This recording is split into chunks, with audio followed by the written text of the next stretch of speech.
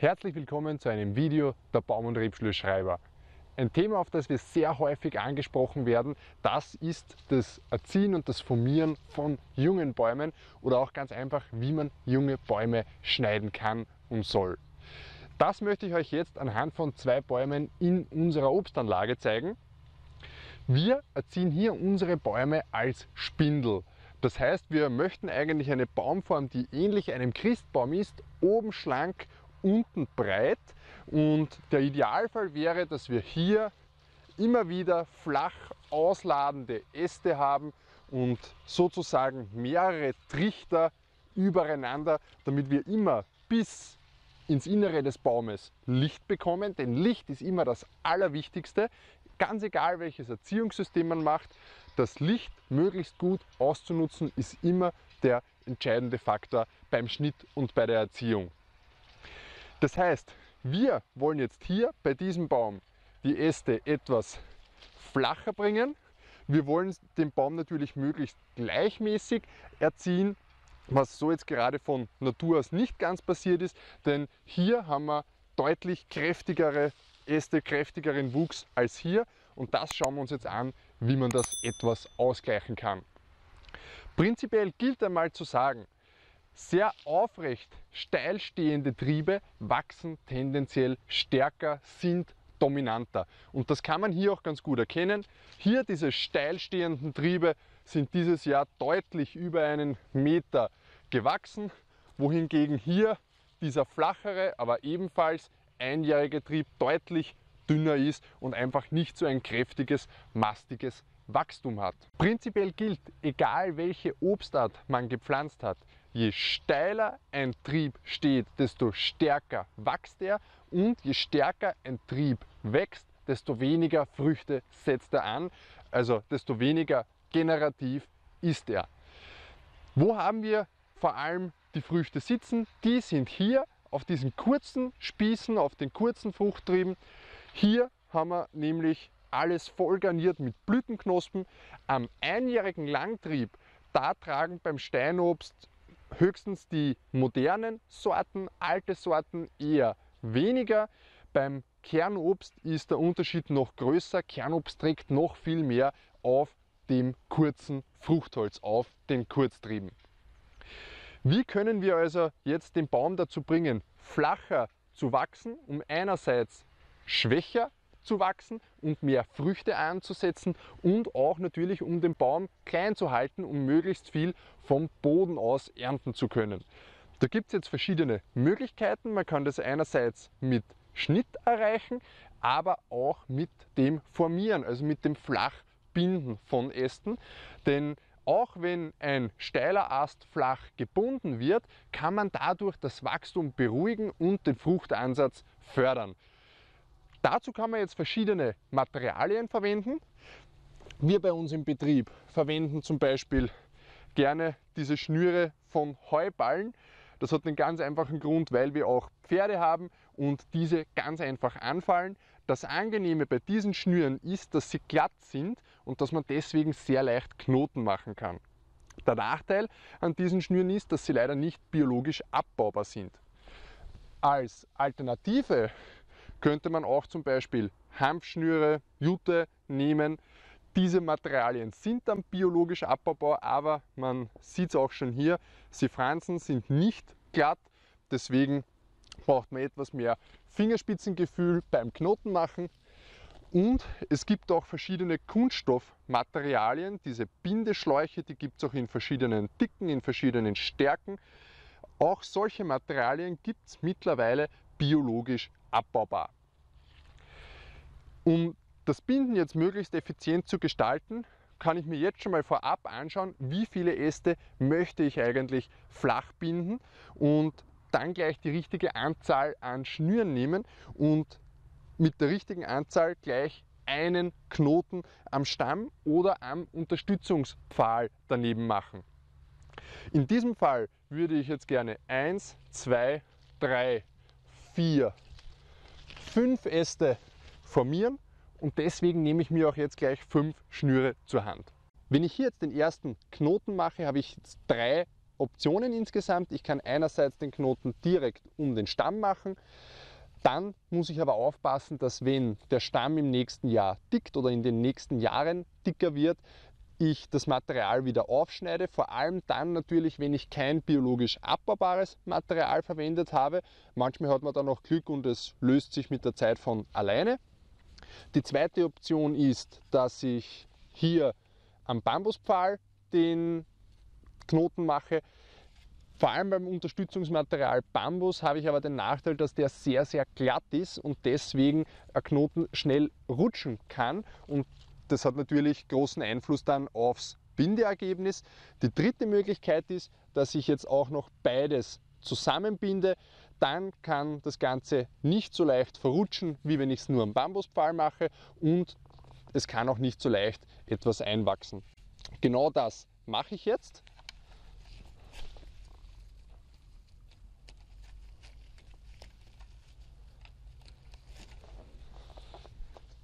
Wenn ich mich hier jetzt ans Binden mache, dann sind einige Punkte ganz wichtig zu beachten. Einerseits, dass ich ihn nicht über die Waagrechte drüber binde, denn sonst entsteht hier ein Scheitelpunkt und der Baum wird hier höchstwahrscheinlich im nächsten Jahr wieder mit vielen steilen Trieben, mit Wasserschossern reagieren. Im Idealfall binde ich den Trieb so, dass er relativ gerade, aber leicht aufrecht wächst Wichtig ist jetzt hier zu wissen, je stärker man den Trieb flach bindet, also je flacher der Trieb ist, desto mehr bremst man das Wachstum. Und wenn man einen Baum natürlich wachsen lässt, dann rutscht das Wachstum von alleine immer mehr nach oben. Das ist die sogenannte Apikaldominanz. Und diesem Phänomen, dass der Baum von alleine das Wachstum immer mehr nach oben verlagert, dem kann ich jetzt entgegenwirken, indem ich beispielsweise hier unten die Äste etwas aufrechter stehen lasse als die, die oben im Baum angeordnet sind. So kann man zum Beispiel sagen, dass man hier die Triebe leicht aufrecht lässt und dann je höher ich gehe, immer flacher wird. Wenn ich diesen Trieb jetzt hier flach binde, suche ich mir hier am besten ein Auge, damit die Schnur auch wirklich hält. Dann nehme ich hier mein Bindematerial, mache eine Schlaufe, ziehe sie einmal nach oben und nach unten und schon hält das Ganze eigentlich von alleine. Dieser Knoten, der kann sich jetzt nicht nach oben ziehen. Hier kann sich jetzt der Winkel des Astes nicht mehr verändern und wenn ich diesen Knoten hier jetzt noch festziehe mit einer Schlaufe, dann wäre das Ganze eigentlich schon fertig auf diesem Ast. Das Ganze mache ich jetzt hier gleich noch einmal bei diesem Ast. Ich bringe den Ast in die Position, suche mir ein Auge, damit die Schnur hält, habe jetzt hier die Schnur, die ich einmal um den Strang, der für die Spannung sorgt, herumwickle. Jetzt kippe ich diese Schnur von oben nach unten und das hört man richtig, dass hier der Strang, der spannt, einmal umspringt, einmal geknickt wird. Und wenn ich das mache, dann hält dieser Ast schon wieder von ganz von alleine. Ich müsste jetzt gar nichts mehr tun, mache jetzt hier nur noch eine Schlaufe hinein, dann kann man ihn im Anschluss auch wieder schnell und einfach lösen und dieser Ast hält gut und mit diesem Knoten kann sich jetzt der Ast nicht von alleine wieder nach oben ziehen, denn wenn man hier vor allem bei glatten Schnüren nur einen Knoten macht, dann zieht sich dieser Knoten, wenn hier immer der Ast nach oben zieht, ebenfalls mit der Zeit nach oben. Hier bei diesem Ast, hier unten ist er schon zweijährig, habe ich jetzt mehrere Möglichkeiten. Die sehr schnelle, wenig zeitaufwendige Variante wäre hier dieses ganze steile Holz mit einem Schnitt herauszunehmen und hier auf einen schwachen, flachen Trieb abzuleiten. Das wäre das, was ich jetzt hier als Obstbauer tun würde, weil ich ganz einfach die Zeit für diese viele Bindearbeit nicht finde und weil das einfach zu teuer ist. Die Alternative dazu ist es jetzt auch diesen Ast hier nach unten zu binden, flach zu binden und zu formieren. Wenn man auf diese Triebe hier oben verzichten kann, würde ich auf jeden Fall immer schneiden, bevor ich ihn formiere. Das wäre jetzt die Möglichkeit, wenn ich zum Beispiel hier sonst ein zu großes Loch erzeugen würde und wenn ich diese Triebe unbedingt behalten möchte. Ich entscheide mich jetzt hier, den Baum zu schneiden. Wichtig dabei ist jetzt, dass ich diesen Schnitt stummelfrei, so wie der Ast, auf den ich hier abgeleitet habe, verläuft und dass ich hier jetzt nicht noch vielleicht 1, 2, 3 cm Stummel belasse, denn dann würde mir erstens hier oben höchstwahrscheinlich schon wieder mit steilen Trieben im Anschluss reagieren und die zweite Gefahr ist, wenn er nicht austreibt, dass das Ganze hier dann böse zurücktrocknet und auch dieser kurze Spieß hier geschädigt ist. So wie in dem Fall ist der Trieb hier hinten gut garniert, dieser Ast ist gut garniert und daher kann ich hier damit rechnen, dass im kommenden Jahr hier schon reichlich Früchte sind. Diese beiden Äste hier, die möchte ich aber sehr wohl noch flach binden und da zeige ich dieses ganze Prozedere gleich noch einmal. Ich bringe den Ast in die Position, wickle dann die Schnur einmal durch den Strang, der den Ast hält, lasse sie umspringen und mache hier wieder die Schlaufe. Wenn ich hier die Schlaufe mache, habe ich hier oben viel Spielraum. Dieser Trieb, der kann hier niemals einwachsen, denn so dick kann der Ast ganz einfach nicht so schnell werden. Im nächsten Jahr, wenn ich sie auflösen möchte, ziehe ich ganz einfach hier an der Schlaufe und kann das Ganze auch schnell wieder entfernen. Hier oben habe ich jetzt noch einen ganz typischen Konkurrenztrieb. Dieser Trieb steht genauso steil wie der Mitteltrieb, ist auch in etwa so stark gewachsen. Und hier gibt es jetzt zwei Optionen. Entweder ich ordne diesen Trieb deutlich unter, den würde ich jetzt sogar fast waagrecht oder sogar wirklich waagrecht binden, oder ich entscheide mich dafür, ihn ganz herauszunehmen. Das wäre in dem Fall jetzt die Variante, die ich machen würde. Diesen Trieb einfach stummelfrei entfernen. Ich habe hier unten viel schönes Fruchtholz, das jetzt erstens einmal auch wirklich super belichtet ist. Ich werde hier im nächsten Jahr eine super Qualität ernten und meine Erfahrung ist es, dass wenn ich hier jetzt diese Konkurrenztriebe drinnen lasse, die ganz einfach ein bisschen das Wachstum an sich ziehen und hier unten gar keine anderen neuen Triebe aufkommen lassen. Und so kann ich es schaffen, dass ich hier auch in Zukunft ein etwas gleichmäßigeres Wachstum habe. Wenn ich mir diesen Baum jetzt ansehe, habe ich hier unten viel schönes, relativ flaches, aber doch leicht aufrechtes Holz. Das ist eigentlich genauso, wie ich einen Spindelbaum erziehen möchte. Ich habe einen dominanten Mitteltrieb, auf dem ich hier in den nächsten Jahren meine weiteren Etagen, quasi meine weiteren Trichter hier nach oben hin aufbauen kann. Bei so einem Baum steht jetzt einer wirklich schönen Erziehung, einer schönen Krone in den nächsten Jahren nichts im Wege.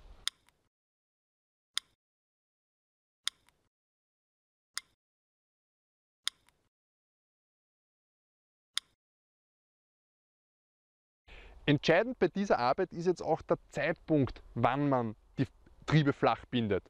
Denn im Sommer bis in den Spätsommer hinein, das ist ein guter Zeitpunkt, das heißt ab Juni, Juli bis jetzt in den September hinein kann man diese Arbeit machen.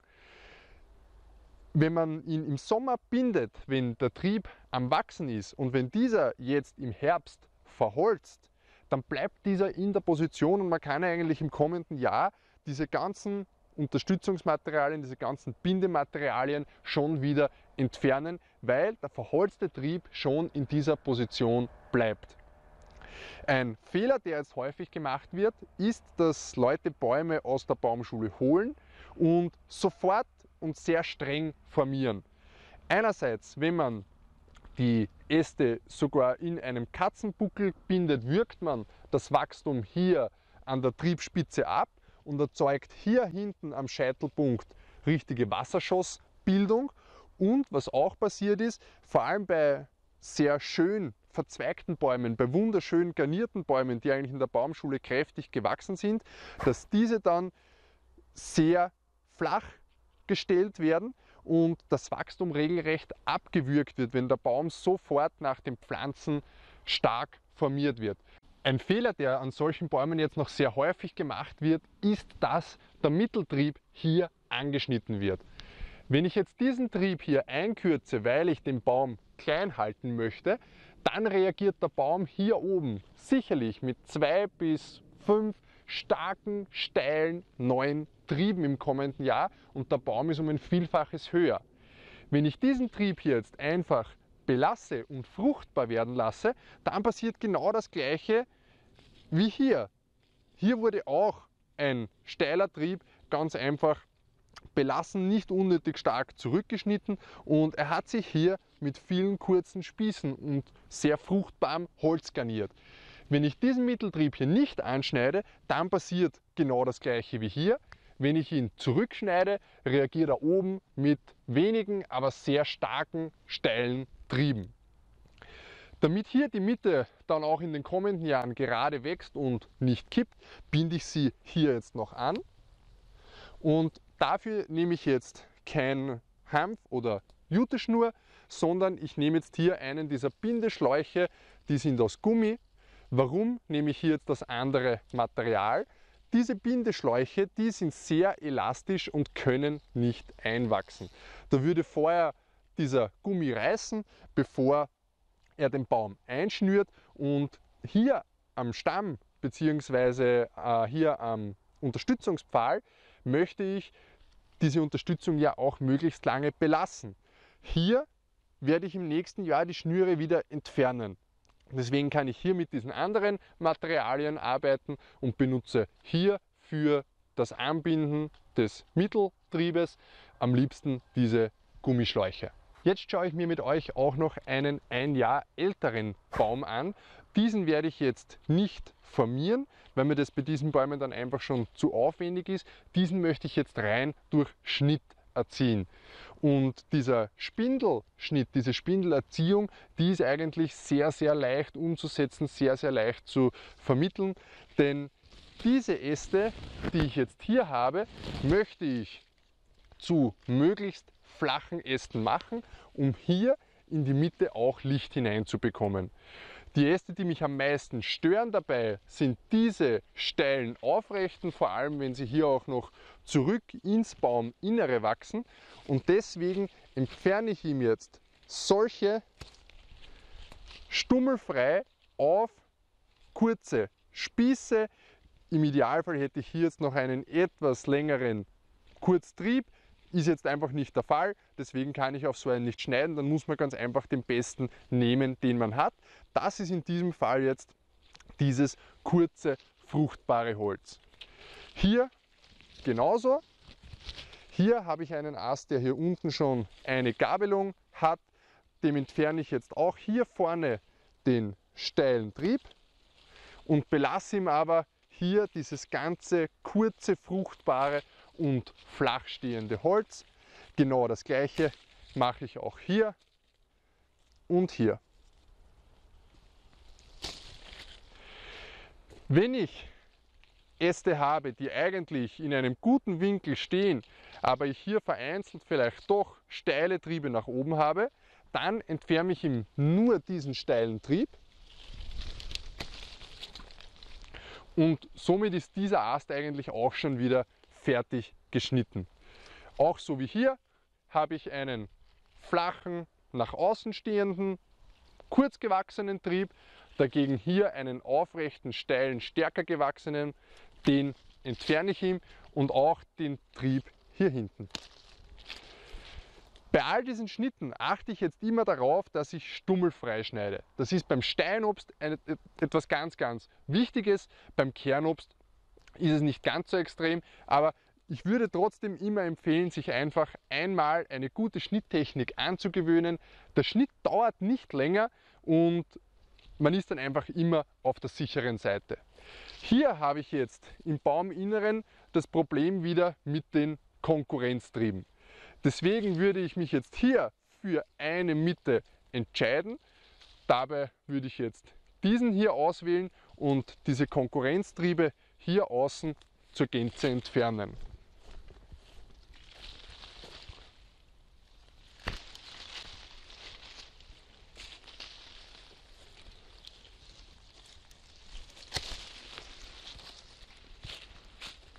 Hier entscheide ich mich wieder für das Ableiten auf das flachere, schwache Holz, genauso wie hier.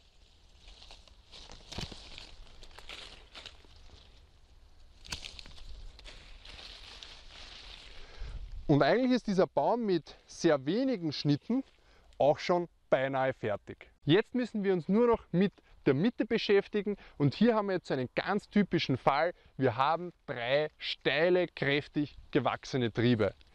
Ich würde mich jetzt hier dafür entscheiden, den stärksten und steilsten Trieb herauszunehmen, den etwas schwächeren zu belassen und weil dieser dann eine Konkurrenz darstellt, würde ich auch diesen herausnehmen.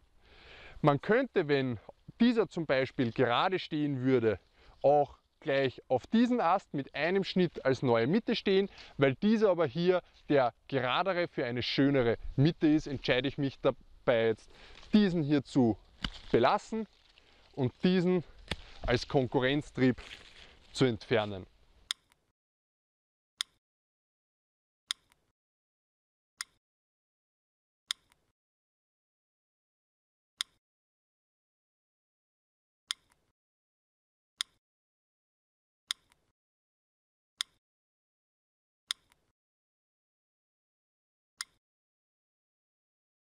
Vor allem, wenn jemand mehrere junge Bäume gepflanzt hat und diese formieren möchte, dann sind Astklammern, sogenannte Astfix, ein nettes Hilfsmittel, um sehr zeiteffizient vorzeitige oder einjährige Triebe flachzustellen. Diese Astfix, die gibt es in verschiedenen Ausführungen. Einerseits sehr geradlinige, welche mit einem Knick, welche mit zwei Knick. Und mit diesen kann man vor allem sehr zeiteffizient arbeiten und wie gesagt vor allem vorzeitige Triebe oder einjährige Triebe, also alles, was noch nicht sehr stark, sehr mastig gewachsen ist, flachstellen. Vor allem im Kernobst sind diese ein wirklich nettes Hilfsmittel, vor allem wenn man viel Bindearbeit hat. Der Vorteil ist, dass man mit diesen, wenn man den Dreh raus hat, sehr schnell arbeiten kann und man kann sie natürlich über viele Jahre hinweg wiederverwenden. Ich verlinke euch in der Videobeschreibung auch nochmal einige Bindematerialien, ich hoffe, euch hat das Video geholfen und ich wünsche euch viel Spaß dabei bei eurem Formieren der jungen Bäume. In diesem Sinne, schöne Grüße aus der Wein- und Marienstadt Boisdorf. Bis zum nächsten Mal. Ciao.